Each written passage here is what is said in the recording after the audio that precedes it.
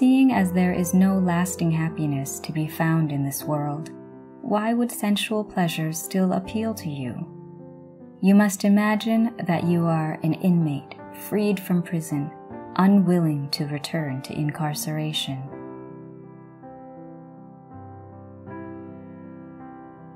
Mindful wisdom of samadhi, or right view, will be the key that opens the door to the stream of enlightenment. Without right perception aligned with the truth of reality, and with only a trickle of mindful wisdom, the curtains will have closed on your chance of attaining enlightenment in this lifetime. Proceeding without a destination, you are bound to get lost. Proceeding without observing, you are bound to wander in circles.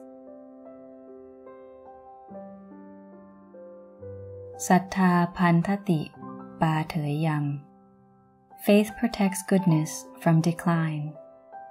Sattha satu patitita. With well established faith, you are bound to choose to commit only good karma. Kusalo suchino sukha vahati. A wise mind is bound to be capable of doing anything that is good. Tatta mano piyo. The giver is loved by all, including animals. Money and belongings piled up at home are merely for temporary use in this lifetime. In no time at all, they will cease to exist and revert back to the earth. No one can claim ownership over these belongings. Your belongings, no matter how insignificant, cannot be taken with you when you die because they belong to the world.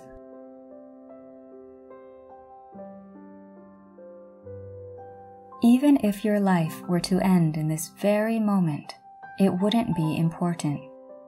What is important is your determination to practice to your fullest ability. Don't squander your life away as you have been doing. You must practice mental cultivation as if in a race against time. The diligent do not sleep much. They savor the Dhamma in every waking moment.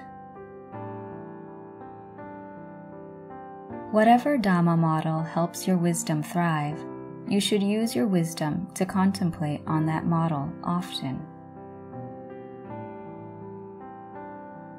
Medicine is derived from common herbs. Medication that is mismatched with the ailment will be ineffective. When in the company of others, how must you act so that you can live in harmony? This is the happiness that you must aim for. Don't expect to find happiness from serene meditation, because meditative bliss on its own is insufficient. No gift can compare to the gift of fair consideration. If you are content to do that which is bad or unbeneficial, no matter how difficult, it will seem easy.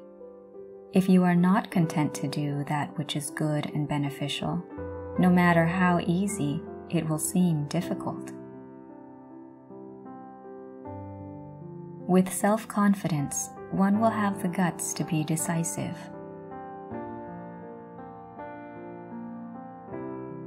Anything that arises in this world will not remain for long. This law of impermanence is seen and known through wisdom.